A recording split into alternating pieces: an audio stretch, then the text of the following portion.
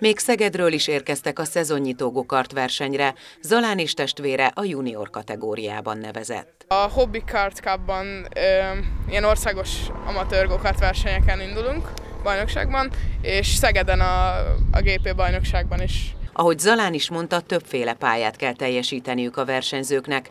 Az idei szezonban rengeteg újdonsággal készülnek a szervezők, a versenyeket a profikhoz hasonlóan rendezik meg. Most a legrövidebb nyomvonalon mennek, ugye az öt futamból álló sorozatnál úgy fogunk indulni, hogy mindegyik verseny egy külön nyom, egy új nyomvonalon fog indulni, és meglepetésként az utolsó, az árufutam fordított irányú lesz a pályán. Volt, aki életében először vett részt gokart versenyen, számára a szerencsés célba érkezés volt a legfontosabb. Ez az első ilyen élményem, de nagyon tetszik, látom, hogy komoly a szervezés, mindenki komolyan veszi ezt az egészet.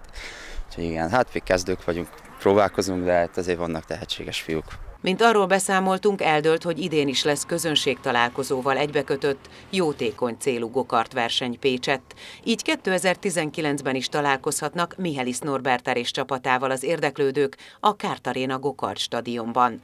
Azt, hogy augusztus 10-én melyik alapítvány javára gyűjtenek, Mihelis Norbert dönti majd el.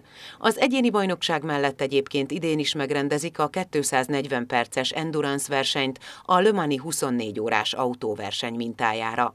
A hivatalos gokart szezon március 1-től november 1-ig tart, de természetesen az időjárás lecsökkentheti, vagy akár megnövelheti ezt az időszakot.